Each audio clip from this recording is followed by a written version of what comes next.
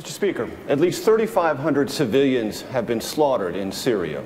Today, the Arab League voted to suspend Syria. If the opposition and you were commander in chief requested military assistance, covert or smuggling, or a no fly zone, would you authorize either or both? Well, first of all, I think that it's a good thing today that the Arab League suspended Syria.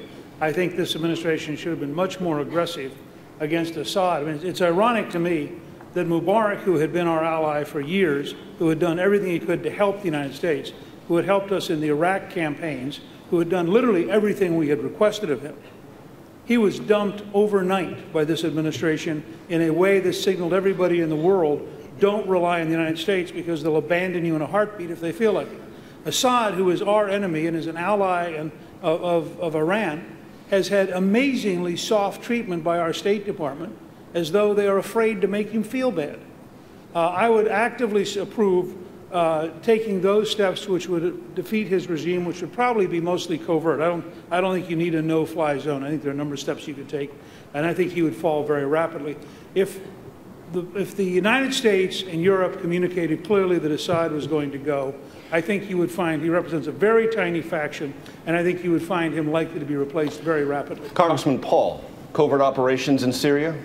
A I green think- light for you? I think it would be a mistake. I think the Syrians ought to deal with their country. I think But what we about, should the, what about the 3,500 dead?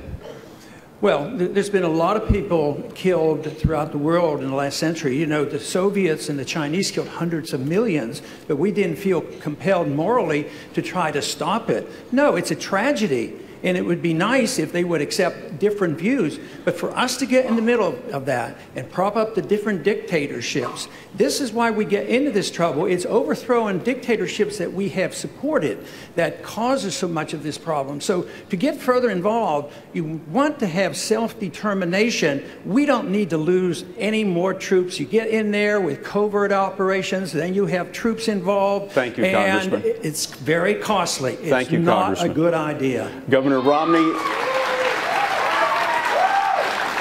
Governor Romney, if I may ask you a 30 second follow up to that, is it time for the Assad dictatorship to end? Would you use military force to do that? Of course, it's time for the Assad dictatorship to end, and we should use covert activity, as Speaker Gingrich has just indicated. Look, the, the reason I disagree with Ron Paul on this is that you have in Syria a nation which is an ally, the only Arab ally of Iran. It is arming Hezbollah. It represents a, an access uh, of, of great significance to Iran. And as a result, because of our concern about Iran and their effort to become the hegemon in the Middle East, it is important for, for us as a nation to stand up and to help those efforts to, to replace uh, Assad. And that means helping Turkey and, and uh, Saudi Arabia, who are putting pressure on him, as well as covert activity of our own. Governor, thank you very much.